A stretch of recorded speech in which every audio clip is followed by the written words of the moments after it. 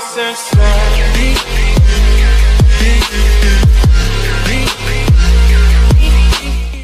En febrero de 2018, un post de Facebook se viralizó en Internet debido a que sostenía que Joaquín Guzmán Loera, alias El Chapo, declaró que Enrique Peña Nieto le encargó atentar en contra de Andrés Manuel López Obrador, cuando aún era candidato a la presidencia de la República, y a cambio no sería extraditado a Estados Unidos.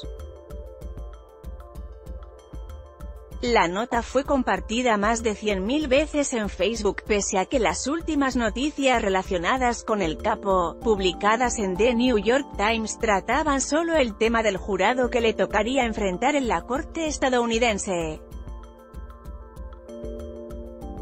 La información fue recuperada por Texto Noticias y rápidamente causó sensación en la red pues sostenía que el Chapo mencionó que, después de su recaptura, el entonces secretario de Gobernación, Miguel Ángel Osorio Chonaz, a nombre Enrique Peña Nieto, le ordenó asesinar a López Obrador, quien en aquel momento lideraba las encuestas.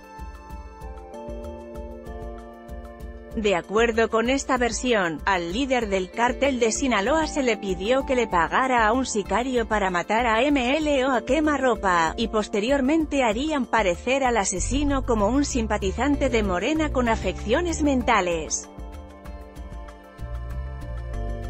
De negarse convertirían su vida en un infierno y sería puesto a disposición de las autoridades de la nación vecina. Sin embargo, de acuerdo con Animal Político, el Chapono declaró en la corte en Nueva York, Estados Unidos que fue presionado por Peña Nieto y su equipo de gobierno para matar a López Obrador. Según el medio, en enero de 2017 Guzmán Loera fue extraditado a Estados Unidos y, solo un mes después, Texto Noticias publicó un video en el que se narra que fue la consecuencia de negarse a asesinar a MLO. El pasado 13 de noviembre, el abogado del capo sostuvo que el cártel de Sinaloa, organización liderada por Guzmán Loera entre 1989 y 2014, pagó sobornos millonarios a los expresidentes Enrique Peña Nieto y Felipe Calderón.